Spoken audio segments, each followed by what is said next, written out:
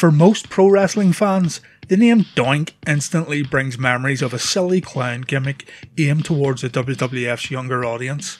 Whether being an evil clown or a silly goofy clown, it's still a clown. By and large, Doink is a representation of when WWE was heavily driven towards cartoony characters and stupid gimmicks. Fans who look closer though will see that the man portraying Doink, Matt Osborne, was truly ahead of his time and some of the heel promos he cut were truly groundbreaking. The world just didn't know how to react and instead thought, oh, it's just a stupid clown. Doink the Clown may represent, to many, a time when WWF was at a low point, but look beyond the makeup and you'll find not only a well respected worker, but a man who was battling his own personal demons. Under the name Matt Borne, Osborne debuted on December 6, 1978 and wrestled for various NWA territories, most prominently for Pacific Northwest Wrestling, where he was their heavyweight and four time tag team champion. In Mid Atlantic Championship Wrestling on June 6, 1980, he won his first championship, also the first of two tag titles he would hold with Buzz Sawyer. In Mid South Wrestling, he allied with Ted DiBiase and Jim Duggan as a member of the Rat Pack. Osborne first wrestled in the WWF on March 2, 1985, wrestling Rick McGraw to a time limit draw in the Boston Garden. He was primarily a jobber, though occasionally beat other jobbers at house shows. Many people forget that Matt Borne was also featured in WrestleMania 1, losing to Ricky Steamboat in the inaugural granddaddy of them all. In May 1986, Osborne joined World Class Championship Wrestling. That September, he reformed his tag team with Buzz Sawyer under the management of Percival Pringle III, also known as Paul Bearer, to win a one day tournament to crown new World Tag Team Champions. He also won the Texas Heavyweight Championship and defended the title at the Christmas Star Wars event against the Iron Sheik. It should be noted that Matt Osborne was well respected by his peers and a very skilled worker. He had a methodical approach to pro wrestling which is never seen today, and his co workers and fans spoke highly of him. There was something engaging about his promos too. They were unnerving and unsettling, but loads of fun to watch. His in ring work was technically sound too, something that many people forget after he put on the clown outfit. In 1991, Osborne signed with WCW and debuted as Big Josh. During his stint in WCW, Osborne won the United States Tag Team Championship with Ron Simmons and the World Six Man Tag Championship with Dustin Rhodes and the Z Man Tom Zenk. Osborne made his final pay per view appearance for the company on May 17, 1992, at WrestleWar, where he defeated Ricky Morton and continued to make sporadic WCW TV appearances throughout the summer of 1992 before leaving the company. In 1992, after Borne's time in WCW was up, he soon found himself in Vince McMahon's office, where the two dreamed up what was quite possibly the most preposterous character in wrestling history Doink the Evil Clown. Funnily enough, Stephen King's It movie came out just a mere two years prior. Osborne was given a green wig, the full grease paint treatment, and a full body leotard painted like a clown suit. When I started it, Borne said years later, the only two people in the industry that believed in it was Vince and myself. I had a lot of guys make a joke about it, nobody took it seriously. Originally, Doink was a mean spirited prankster, but a technically sound brawler in the ring. He sprayed his enemies with water flowers, he harassed fans, he finished his matches with an off the top rope butt plant dubbed the whoopee cushion. But the gags weren't fun, they were cruel. Doink was the only one laughing in the end. Doink began feuding with Crush after attacking him with a prosthetic arm on an episode of Superstars of Wrestling, which subsequently resulted in a match at WrestleMania 9. During this match, another Doink, played by Steve Keirn, came out from under the ring and attacked Crush with another prosthetic arm, allowing the real Doink to pin Crush. For better or for worse, this is still a WrestleMania moment that is remembered today. It was so ridiculous seeing two doinks in the ring, but it was also memorable for how silly it was. When I think of WrestleMania 9, I think of Hulk Hogan putting himself in the main event, and I also think about double doinks. After working against Bret Hart, Randy Savage, and others, Doink turned into a good guy when he began mocking Jerry Lawler and making fun of Bobby Heenan. Shortly afterward, however, Osborne was fired for reoccurring drug abuses. His final TV appearance in the WWF for that era was on December 27, 1993, on an episode of Raw. Osborne cited in a shoot interview that Bam Bam Bigelow did not like putting over Osborne. Osborne said this subsequently led Bam Bam Bigelow snitching on him for smoking weed in the hallway of his hotel and getting him fired from the WWF. Osborne left the company, but the Doink character continued within the WWE. Doink was played by Steve Keirn, the Brooklyn Brawler, and finally, Ray Apollo. He was given a midget sidekick named Dink, who was, it must be said, probably more popular than Doink himself. The character lasted less than two years without Osborne under the makeup.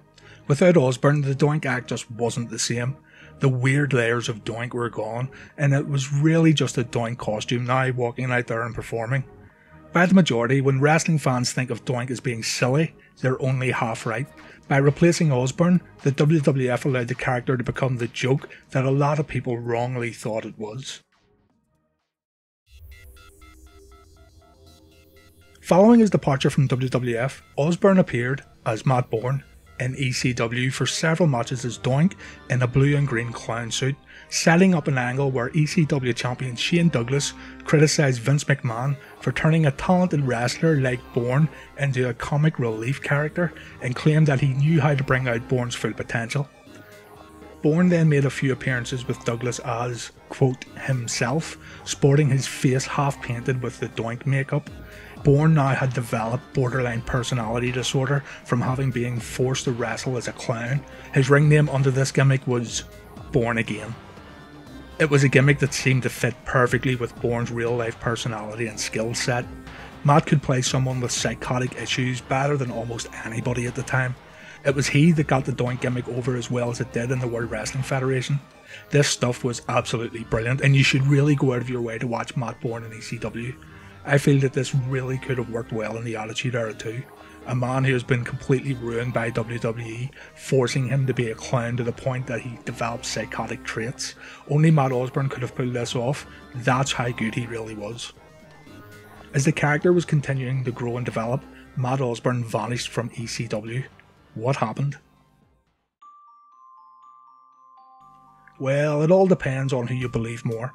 According to Matt Osborne himself, he was offered big money to do a tour of Europe and he simply couldn't pass it up.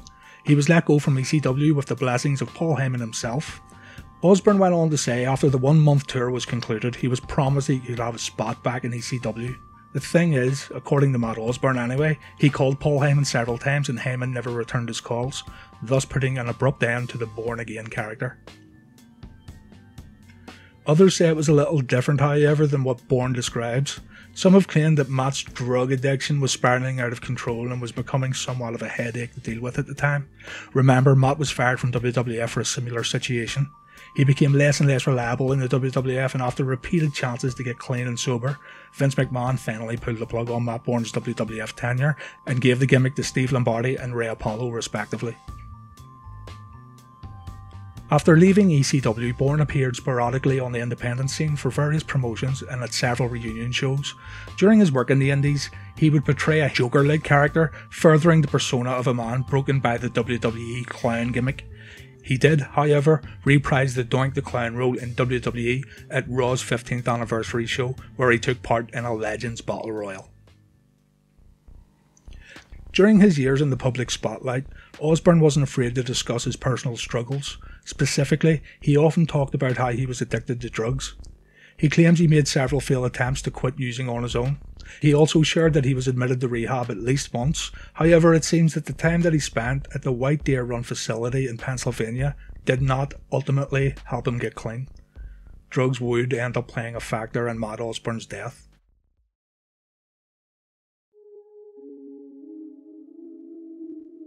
Matt Osborne died on June 28, 2013.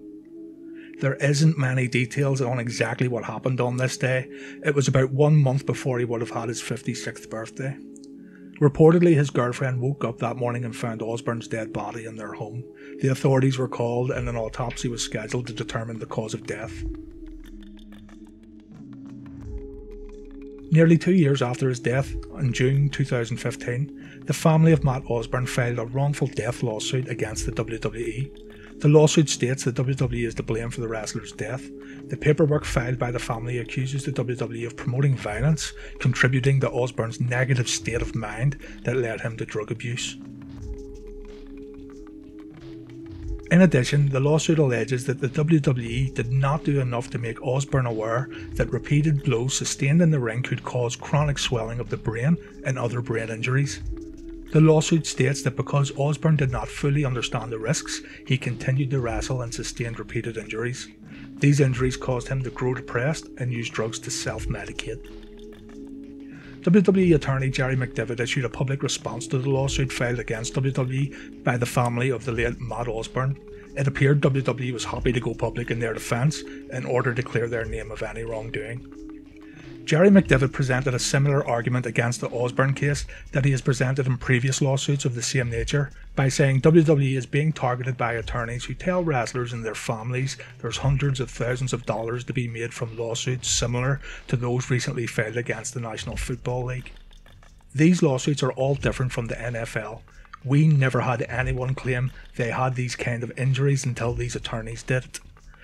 They did find the destitute, people who have no money, and told them there's money to be made. That's what's going on. And I feel bad for these families because they think they'll make money off this, and they're not.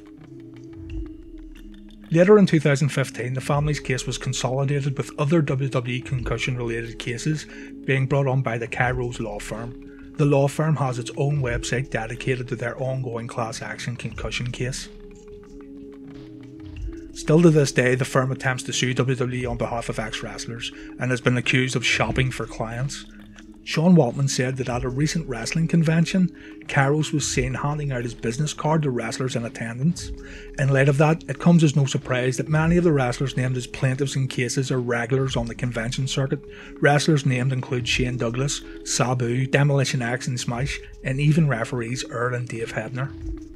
If we are to believe WWE and Jerry McDevitt, it would appear these law firms promised Matt Osborne's family that WWE would pay compensation for his death. WWE to this date has not paid any money to any ex superstar who has been involved with the Kyros law firm. And in the case of Doink the Clown, it was thrown out of court.